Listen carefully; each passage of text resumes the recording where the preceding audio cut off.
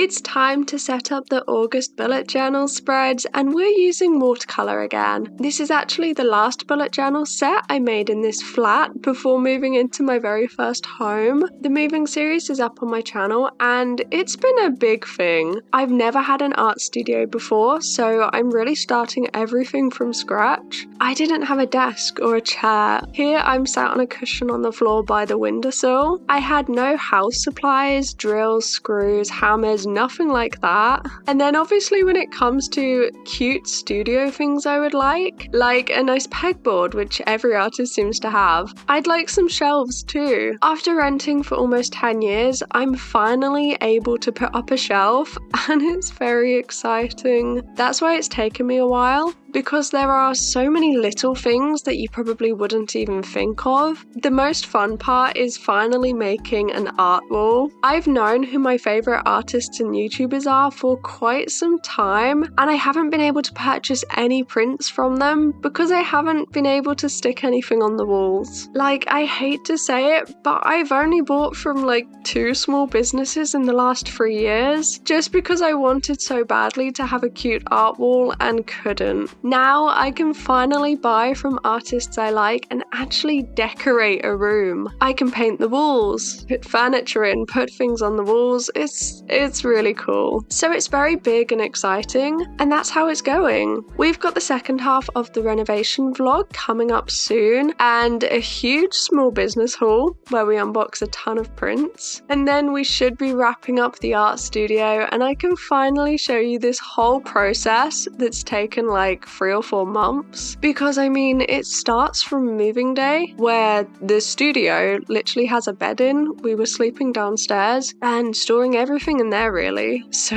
it's a long journey. And I think it's going to be really cool filming the September bullet journal setup in the new studio. It's going to look different. There'll be a proper overhead camera. The style of video is going to be slightly different too. I want to make my videos a little bit more fun and exciting, a little bit more personal. So hopefully that's something we can implement in the next setup. If you've watched a lot of my videos, this might be something that you have actually noticed, in that the videos I filmed recently are different to the older ones. I didn't realise quite how different the setup would be in a new house and an actual studio. The videos look very different, and I am going to be uploading all the ones from the flat very soon so that we can start afresh with this new different style going forward. Okay, that's enough ramble. Moving on to this setup setup. The watercolour didn't go as well this time. I hoped it would, but it didn't. I think it's to do with the ratio of water to paint. So last month we painted galaxies. They were dark. They were probably about 80% paint with just a little bit of water. The pages did warp, but I mean, it wasn't unbearable. It's still not nice having warped pages, it can be hard to work with, but it was pretty okay. This time round, the theme is deep sea. We're using lighter shades and more water, so it gets a little bit bumpy. I tried to make different patterns, different effects, and techniques on each page, but there's only so much you can really do if you still want it to look like water. One technique that worked really well was dropping water on this wet paint. Now, I personally love water blooms, I think they're really pretty, but they are controversial. A lot of people don't like water blooms, they find them messy, and they were definitely easy to create in this journal, which was good for me, but if you don't like blooms, then it probably wouldn't work for you. My process for using watercolour in this journal has been to paint all of the pages first because then it makes the rest of the process really simple. I don't have to worry about waiting for the paint to dry and then using pen and what if the pen bleeds and it's not fully dry and what if I spill some paint over all my journaling supplies, all of the cute papers. The process is more enjoyable splitting it over two days. It makes the second day a lot faster and I think it makes sense to keep the wet and the dry supplies separate from each other. For this setup we are trying out some new supplies. Well, new for the bullet journal tissue paper and metallic pencils. I've not really used tissue paper since I was a child. I've used it a little bit for the June spreads and it was difficult to control, but we're giving it another try. I want this setup to be fun and blue. We're grabbing anything blue.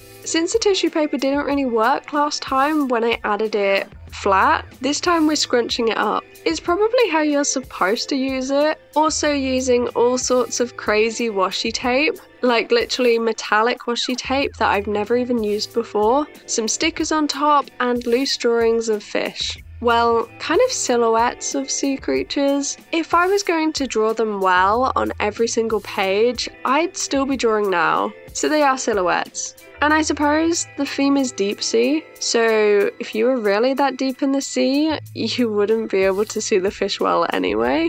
It was about this point that I realised the tissue paper looks like litter. It looks like I've made a page about the environment and all of the rubbish that's in the bottom of the sea. It looks like a statement piece. Like, do you see it? But honestly, the tissue paper was supposed to just be sea texture.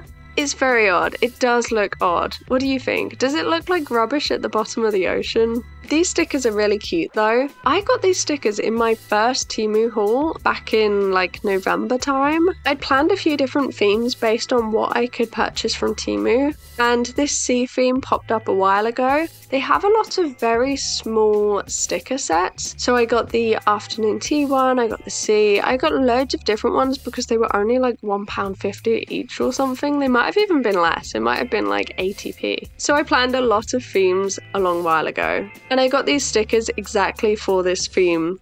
The blue checkered washi tape was really disappointing though. It's the perfect colour, but it just kept ripping. I don't know if you have this, but I have some washi tape that just rip constantly. I don't know if they're faulty, like I got a bad batch, or if it's the way that they're manufactured but some washi tapes are good and some are bad. Still, I grabbed as much blue as I possibly could for this theme. Bringing out the ink and stamps too for this setup, it's been a while. Since I have blue ink, I kind of thought why not? At this point, we're really just using everything blue. I like the little alphabet stamps, but they do take forever, especially if you've already made one or two words. That means some stamps are loose or on the floor, and some are still in the case, and it gets really difficult to find everything. But I will say, the alphabet stamps do look really good. Okay, I'm not gonna lie, the habit tracker is a controversial subject because I moved house and then completely forgot it existed. Completely. I did it with a few things. I also did it with my jelly gouache and it went a little bit moldy, but that's a topic for another day. I still use the weekly spreads, but absolutely forgot about the habits because I don't tend to use the monthlies very much. Like, I don't have enough to write in them, so I never actually go back. I have like one or two things a month, and I can generally remember that. I realized the other day that I'd missed two months of habits, so I need to get back into them. I thought at least adding the daily doodle diary to the tracker would encourage me to fill it out since that is every day and it's an achievement. But it turns out I haven't been doing the habits for so long that it goes back to before I added the diary to the tracker. Going into the second half of the year, I've said it before and I'm saying it again. I want to use the bullet journal more. I just need to make it a habit, which is easier said than done. It's actually really difficult to make something brand new a habit, something that you use every single day. Well, I guess I managed it with the daily doodle diary, so what's the excuse? Obviously, moving house and moving everything around the new house and trying to set up a new studio hasn't helped. But half the problem is that a lot of the time, I don't have very much to write about. My bullet journal is dedicated to art and content creation. My day to day tasks change a lot, and some things are so small that I just do them rather than writing them down. I've noticed before in planner videos that some people write down tasks like emails for every day, but that's something I just wake up and do. It doesn't seem worthwhile to make a note of a task that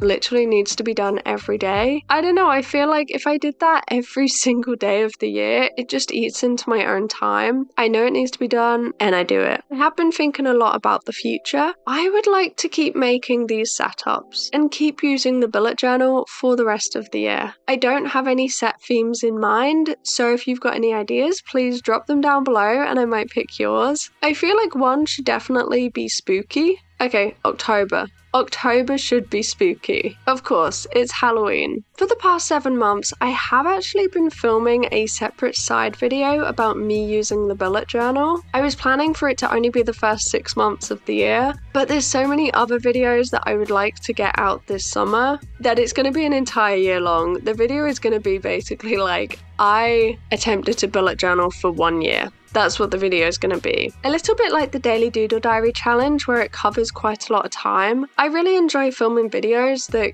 cover time. I really enjoy spontaneously grabbing the camera and filming a little bit of footage over the course of multiple months that I can then piece together into a video. I think it's a fun way to film, and I quite like those types of videos that cover quite a bit of time because it's a bit hard for me to just bullet journal for a little while and say how it is. I like working on those longer videos, those longer projects. But when it comes to these journals, I bought two originally. It was a slight problem with one of them, which you might remember me talking about at the beginning of the year, but I do still have one to use. And I'm thinking next year will be more of a journal than a bullet journal. It won't be dated and it will be a lot more chilled. It will probably be something that I don't always film, a space for myself if I feel comfortable journaling, unless there's specific pages or events or themes that I might do. As part of the art wall, I have bought a calendar. I'm well aware that we're now in July, but it was a smart choice because I can use the first six months of art and put those prints on the wall. So it was a smart decision. I think I was missing a calendar. It's nice to see everything at a glance on the wall, but obviously that does also partly remove the need for a bullet journal. So really, these last few months of spreads are going to be fun. Fun over practical, because why not? I don't know where next year is going to lead us, but we should make some fun for the rest of this journal. I think this setup is pretty cute. It's different, and the colour pencils were really fun to use, so I might use these again. They're not super metallic, you can't really tell very well. That is the only thing. Thank you for joining me. I hope you have a lovely rest of your day, and I'll see you on Thursday with a new video. Bye bye.